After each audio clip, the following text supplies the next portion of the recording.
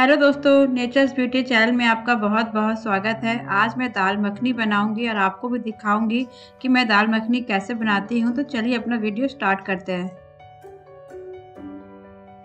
दाल मखनी बनाने के लिए एक कटोरी काली उड़द की दाल, आधी कटोरी चने की दाल और एक मुट्ठी राजमा को रात भर पानी में भिगो दीजिए और सुबह उसका पानी साफ़ करके प्रेशर कुकर में ट्रांसफ़र कर लीजिए। डालूँगी एक छोटा सा प्याज का टुकड़ा और सारे खड़े गरम मसाले जिसमें मैंने लिया है दालचीनी, एक बड़ी इलायची, एक छोटी इलायची और लौंग और तेजपत्ता और आपका एक चम्मच जीरा और दो लहसुन की कलियाँ और थोड़े से मैंने अदरक को बारीक काट लिया है। इसको मैं प्रेशर कुकर में ट्रांसफ़र कर दूँगी।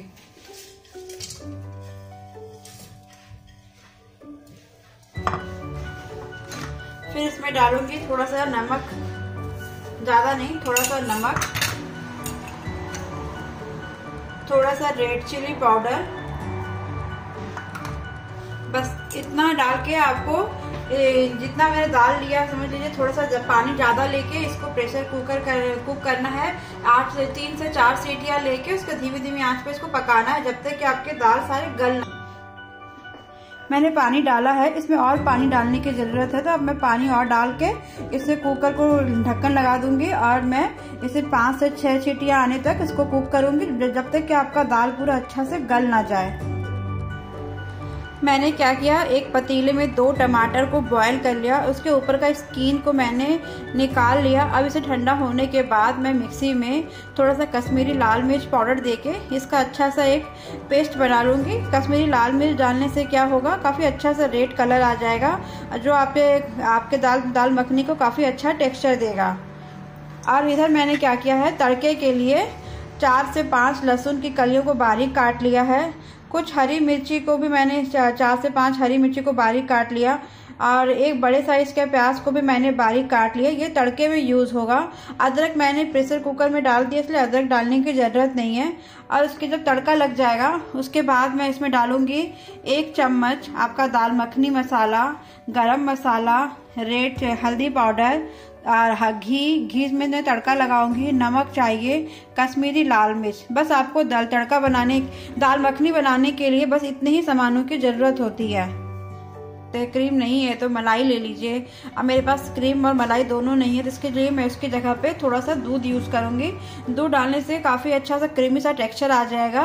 और जैसे बाज़ारों में होती है ना, क्रीमी क्रीमी सा टेक्सचर आता है, वो मलाई और दूध की वजह से ही आता है। तो आपके पास जो भी अवेलेबल हो, आप वो यूज़ कर सकते हो। टमाटर को मिक्सी में ब्लेंड कर लिया है।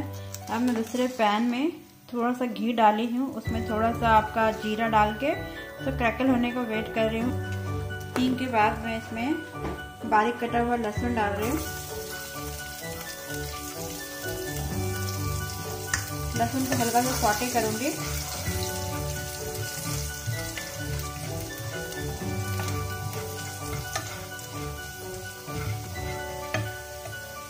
फिर मैं डाल रही हूँ, बारीक कटा हुआ प्याज।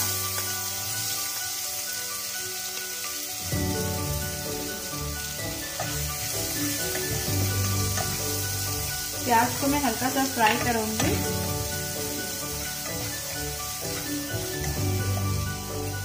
प्याज जल्दी गल जाए, उसके लिए आप थोड़ा सा इसमें सॉल्ट डाल दीजिए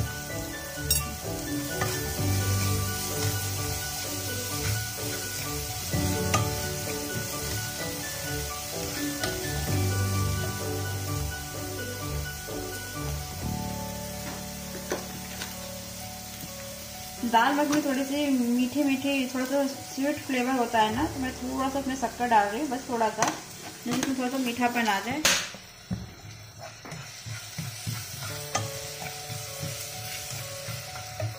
फिर मैं डाल रही हूँ हरी मिर्ची, बारीक कटी हुई हरी मिर्ची। अब मैं इसको थोड़ा सा फ्राई करूँगी, दो से तीन मिनट तक।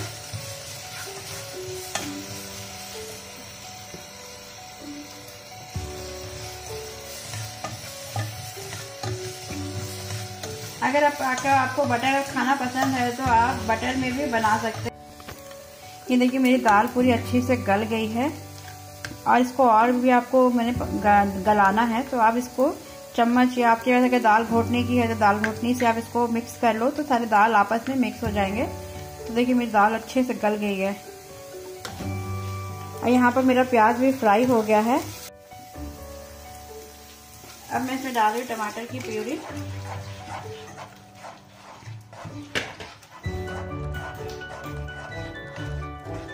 टमाटर की प्यूरी डालने के बाद आप इसमें थोड़ा सा नमक डाल दीजिए।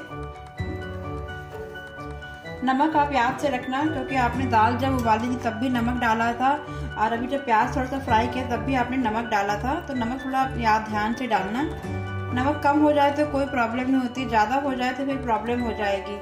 उसके बाद मैं डाल रही हूँ इसमें आपका दाल मखनी मसाला दो चम्मच। थोड़ा सा आपका कश्मीरी लाल मिर्च।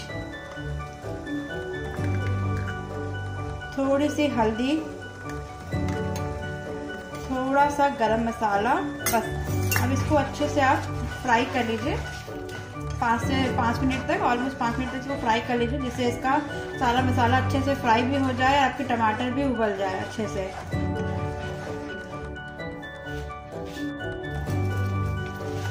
मेरे टमाटर और सारे मसाले अच्छे से फ्राई हो गए हैं। देखिए बबल्स आ रहे हैं इस पर अब मैं थोड़ा सा और फ्राई करूँगी। फ्राई करने के बाद मैं इसमें आपका दूध डालूँगी। अगर आपके पास मलाई है तो आप मलाई डाल लीजिए अगर आपके पास रेडीमेड वाली पैक अमूल की मलाई है तो वो भी आप डाल सकते हैं। अगर आपके पास कुछ नहीं है तो आप दूध भी यूज़ कर सकते हैं। मैं दूध यूज़ कर रही हूँ उसमें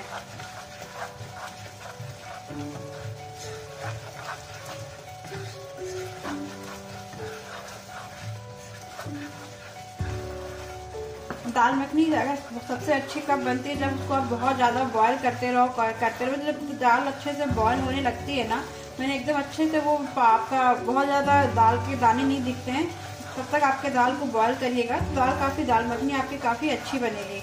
अब मैं इसमें डाल रही हूँ दूध, थोड़ा सा। अब मैं दूध डाल के इसको अच्छे से मिक्स कर ले रही हूँ।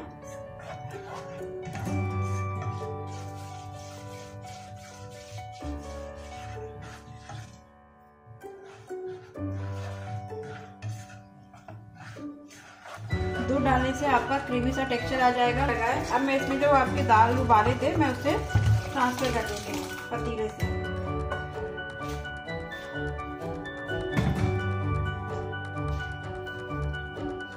अब मैं इसे अच्छे से मिक्स करके इसे उबालूँगी पाँच से दस मिनट तक धीमी आँच पे।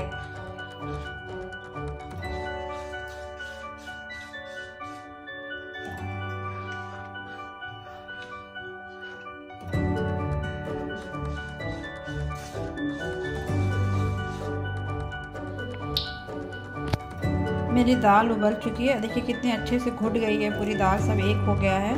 अब मैं इसमें तड़का लगाऊँगी। तो मैंने एक पैन में थोड़ा सा घी डाला है। अब इसमें थोड़ा सा कश्मीरी लाल मिर्च पाउडर और थोड़ा सा कसूर मेरा घी गर्म हो गया है। अब मैं इसमें थोड़ा सा कश्मीरी लाल मिर्च या आप ये पोर्शन को आप स्कीप भी कर सकते हैं। चाहे तो बस दाल मखनी बना के उतार लीजिए, रेडी हो जाएगा।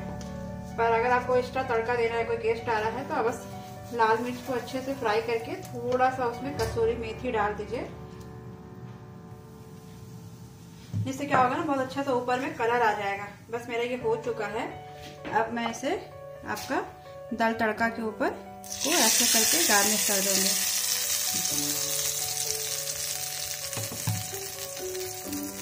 देखिए कितना खूबसूरत सा कलर आ गया है।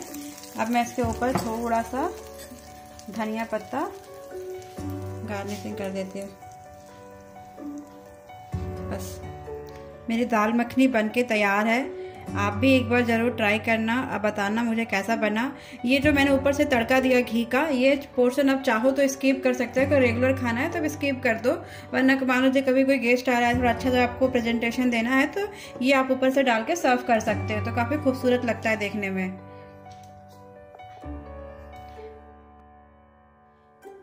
आई होप आपको मेरी ये वीडियो अच्छी लगी हो। फिर आपसे मिलते हैं नेक्स्ट वीडियो पे नई रेसिपी के साथ। तब तक के लिए बाय टेक केयर